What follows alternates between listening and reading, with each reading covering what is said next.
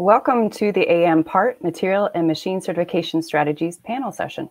My name is Kate Hyam. I'm a project engineering manager here at ASME in the Standards and Certification Department. My current project supports standards development and events in the areas of big data, manufacturing, and advanced manufacturing, along with verification and validation of computer modeling. And I'll be the moderator for this session. Our panelists today are Jesse Boyer, Fellow of Additive Manufacturing at Pratt & Whitney. As part of the Process Control Center for Additive Manufacturing at Raytheon Technologies, he is a technical lead for the development, implementation, and manufacturing effort to bring metal, metal additive parts into production. Rick Russell is a NASA Technical Fellow for Materials at the NASA Engineering and Safety Center at Kennedy Space Center in Florida. And Marcin Bauza is the Vice President of New Technology and Innovation at Zeiss. He is responsible for the international business development, defining, defining market strategy, and value proposition for emerging and existing technologies. He is also head of Zeiss Additive Manufacturing Process and Control, Marcin, as our, as our session sponsor, has a few words to share. Marcin? Uh, hello, everyone.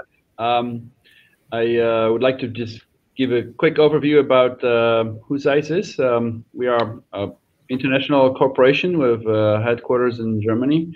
We have been um, in the business for 175 years now, and we be part of uh, many uh, big events. Um, since we have uh, Rick here and NASA, I, I could uh, remind everyone we had a 50 year anniversary of landing on the moon, and all the pictures uh, from the Apollo mission have been actually taken with Zeiss optics.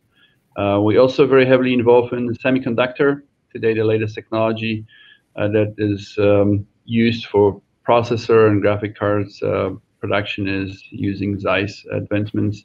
We also um, we advance in optical and uh, medical technologies. But here for additive manufacturing, um, the key uh, is to advance additive manufacturing to the level that can be used on a daily basis and can be really used in production. And that's where Zeiss is uh, uh putting a lot of effort. Uh, we combining a lot of technologies um, together to um, enable this process and to um, uh, speed up um, those capabilities. Uh, thank you. Thank you, Marcin. And now we'll begin our panel questions. At this time, I'd like to remind you to please use the chat box to add your questions so that hopefully we can get them answered at the end of the pre-prepared questions. Our first question is, how do certification strategies differ by implementation? And I'll hand this over to Rick to answer first. Great. Um, so uh, as NASA, we are a, a certifying body um, obviously for, for, for space applications. And so really, really, we have two factors that we look at when it comes into comes to um, uh, certification strategies. The first would be risk, and the second would be um, uh, consequence of failure. So, so, so, the, uh, we are currently finalizing some of our uh, new NASA standards, and and and, we're, and and so we cut it into what type of mission are you flying? Is it a crewed mission? like you know man's you know men going to the space station or or or or, or, or men or women going to, to, to the moon for example um, is it a non-crewed application which could be your deep space satellite or it could be your low earth orbit satellites etc or it could be aeronautics which is nasa aeronautics which is more of your research aircraft. And so your requirements for additive are going to be changed based on that. And then when it comes to consequence of failure that's more of your individual part. We look at your individual part we're going to look at um, how bad is it how bad of a day is it if this particular parts fail? So our, our, our, our new standards that are coming out have A, B, or C as your three different um, levels of, uh, uh, of, of consequence of failure. And, and what, and what that affects is um, your certification strategies, you know, how, you know, the process control requirements, the testing requirements, et cetera, that go along with that part. Okay. Can we hear from Jesse? Would you like to take that question? Um, sure. So at Pratt, we look at both the application uh, for additive uh, in the form of use cases and the overall additive manufacturing process.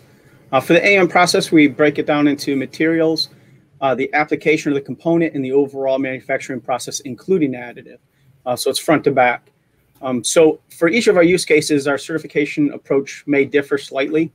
Um, and our use cases are uh, basically part substitution, repair, this is where we leverage existing conventional designs and we do minimum changes. Uh, the most significant would be if we did a possible material change, uh, and that's uh, to ideally implement an in interchangeable part within the uh, current uh, pro product. Um, this one's a little bit more part and process focused. if there is a material change, then we usually have to check that material, the AM material, to ensure that the material properties are adequate. the next one is basically unitization. It's where we take a look at com a combination of multiple parts with minimal design changes. And this one is uh, more material and part focused. Um, the other one is uh, sustainment. Uh, so here we're looking at uh, the replacement or repair of fielded parts. And because of that, we're very, uh, we're a lot more machine uh, and, and part focused on that one to make sure that our, the new design or the, the replacement design will fit the, the current requirements. And the last use case is optimization. And this is where we fully leverage AM design freedoms, new material, complex design, usually more of a complex design. Uh, and this one is more part and material focused, but also includes the process, right? So that one there is probably our most difficult one to uh, actually go and certify. Uh, but regardless of the application, all of our certification is encompassed in our technology readiness and our manufacturing uh, and manufacturing readiness technology, our methodologies. Okay, thank you. Marcin? So uh, Zeiss in this regard is um, more a provider of a technology to allow the certification process.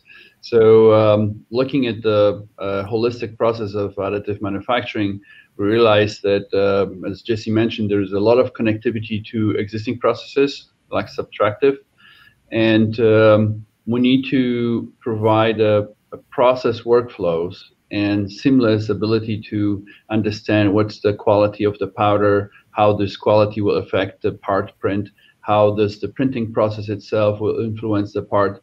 So to open a door for possibility of rather closing, um, having a very strict uh, rules of how the part is being printed and printing many, many times the same part on the same machine to verify that this machine is okay, to be or to be more uh, capable of printing based on what we have, understanding the parameters, how those parameters have to be set, and then uh, allow the uh, ensure the high quality part. For um, to advance this, um, Zeiss have started together with uh, Oak Ridge a, a special CRADA program at Knoxville, Tennessee, where we have built a complete chain of uh, technology to enable this type of uh, assessment. So starting from powder to really understand what have happens and uh, finishing uh, the part with, with every single step. Um, okay. Uh, to, as a follow-on to that question, how do certification strategies for additive manufacturers differ from other subtractive processes? And I'd like to first direct this to Jesse. Sure. Um, so for us, you know, currently the overall process is very similar. Like I said, we we utilize our technology readiness and our manufacturing readiness methodologies. Um, the, the big difference is we don't typically have the 10 to 20 plus years of process and material understanding that we do with the conventional processes. So it, it at this time, it's basically we're developing the material, the process, and the part simultaneously. Um, also, given that there's a large amount of digital data available, um, we tend to set the understanding bar relatively high compared to legacy applications. Um, and then what that drives us to be is is initially conservative on the capabilities, right? We can we can go look at uh, much more detailed information than we probably did in in the past when we looked at our, our conventional processes. Um, so in general, um, it, we still follow the rigor of our, our, our subtractive or our conventional processes, um, but we're trying to figure out how can we do that much more efficiently. Um, how can we leverage those large am amounts of digital data, and how can we maintain the rigor that we had and the expectations that we have for for our conventional processes. Okay, thank you. And and Rick, could you share with us what you do at NASA?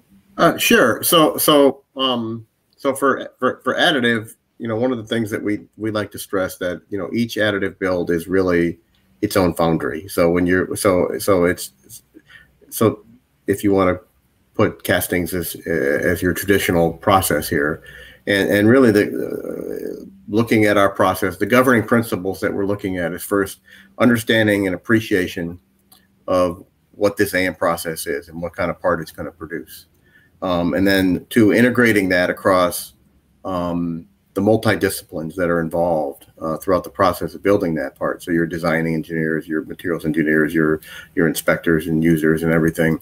Um, and then the third is to really define and follow the plan that you put together. So we're so so so as far as a plan, um, you know, for each part, we really we really feel that the the first step is is having qualified materials. So we have a, a rigorous uh, protocol for for for how to qualify that material on that particular additive machine um, or similar machines. Um, and then once you have that qualified material, then then we, we want to be able to bathe that with uh, statistical process control. Um, so know, we you know the, one thing that that additive needs is is consistency. So we need to have those parts um, statistically controlled. And then once you have all that, it builds into your your your, your what we call the material property suite, which is akin to your design allowable for that part. And all that leads up to your um, qualified material and the quali- uh, with, with, statistical process control with properties understand you, you, you need to qualify that part process make a plan and stick to it thank you and marcin um, I think um, I, I, like the analogy that Rick brought of um, a foundry. Um, I, I, say that uh, with respect to subtractive processes, um, where engineers are used to uh, pick a material, they know what the standard says, they know what the specification of the material are, and they drive uh, the entire post process, like heat treatment and everything, based on those values. In additive, that's just the opposite. You you simply bringing the foundry into the process itself.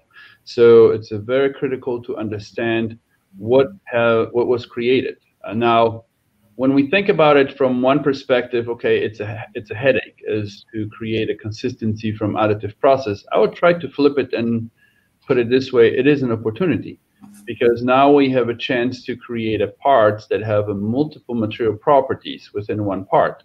There are uh, there is work already in the publications done by Oak Ridge showing uh, DOE letters, for example, printed with different crystallographic structures in the same part that opens the doors for a whole new level of advancements in, in engineering and manufacturing um, of those parts. So, so in our case, we're trying to make this as simple as possible to do those analysis and as fast as possible. So uh, the statistical control, as important as is, could also lead to 100% control if needed.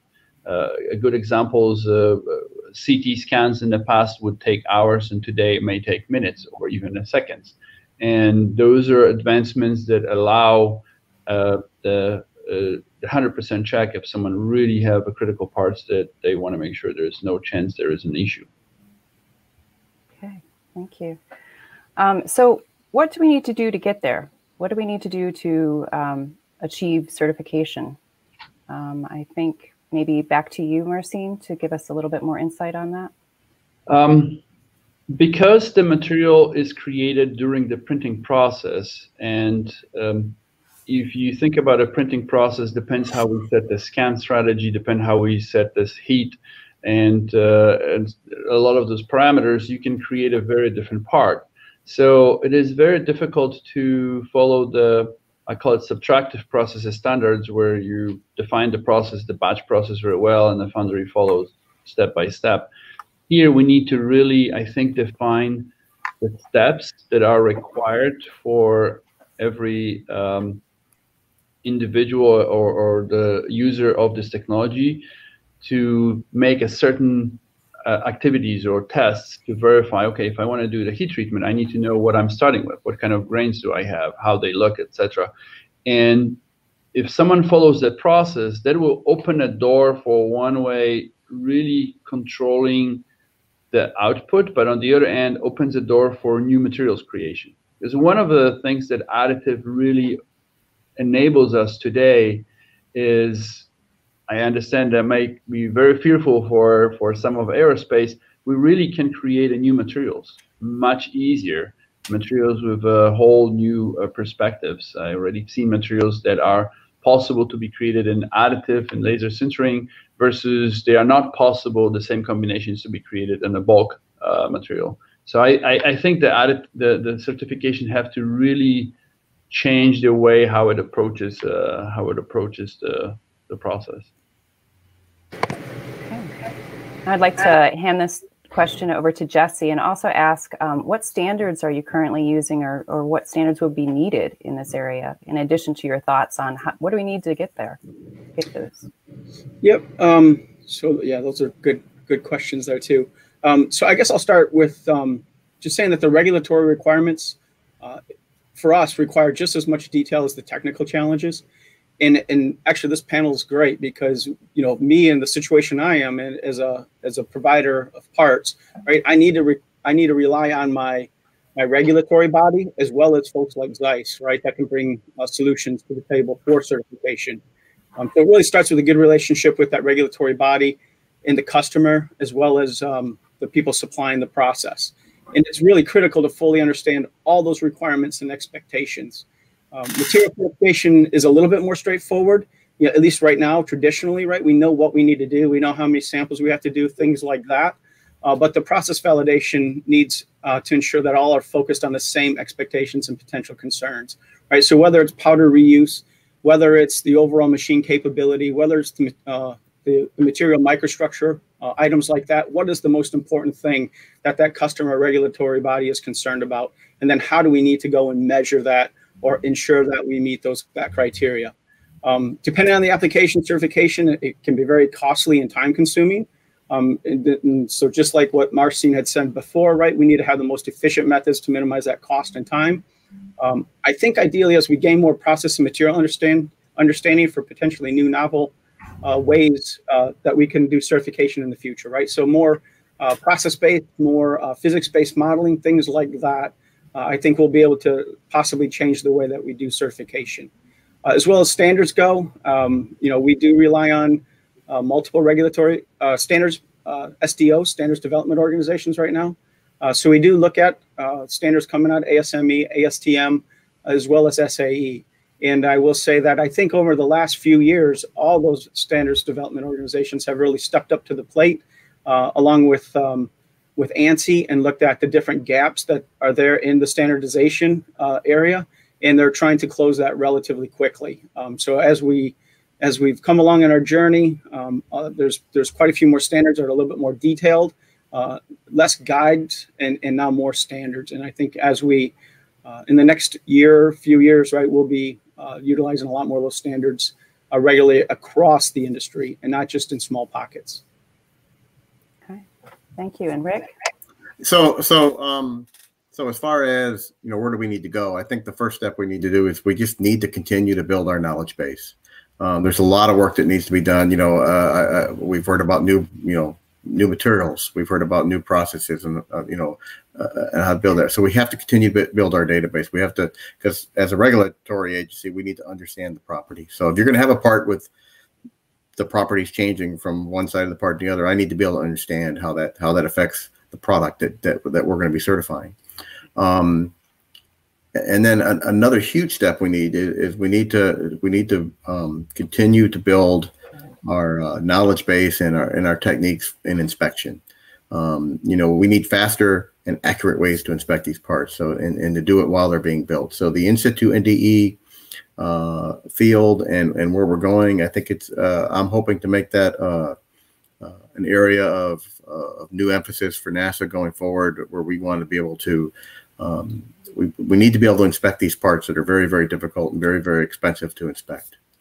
Um, on the standardization role, um, I agree with Jesse that there's a lot of great work going on by all the standards organizations, um, ASTM, uh, uh, AS, uh, um, SAE and the others. Um, and, and, and there's been some great steps moving forward, closing the gaps. Um, from the NASA point of view, um, we are actually on the verge of releasing uh, our our, our uh, first two additive standards. Uh, the first one is NASA Standard 6030, which is for the crewed crewed vehicles applications, um, and then an accompanying equipment and standardization standard, NASA Standard 6033, which um, by the end of the calendar year 2020 will be fully released. They're they're they're they're they're, they're really close to, to being in the final review review stages, and um, uh, I look forward to those being released um, in the near future. Great. Okay. Um, Marcin, did you want to address the standards that you think might be needed in this area or those that are currently being used? I mean, in, in, in general, the way how I see for, for standards, as I mentioned, uh, we need to learn how to address the process steps. If people will follow a certain uh, activity step by step, and that will open the freedom of, of creation, what the additive is really uh, designed for, but also will ensure that what is really uh, created, like uh, mentioned, uh, multi part properties within different locations of the part, etc. That will enable a, a whole different uh, paradigm shift in, in manufacturing. I mean, if we think about it, last 150 years, we've been all focusing on making sure that everything that we make is the same and the same and is the same. And additive is just the opposite to this. Great. Thank you for answering that question. That's a question near and dear to my heart as part of the standards department here. So now we'll take some questions from the audience.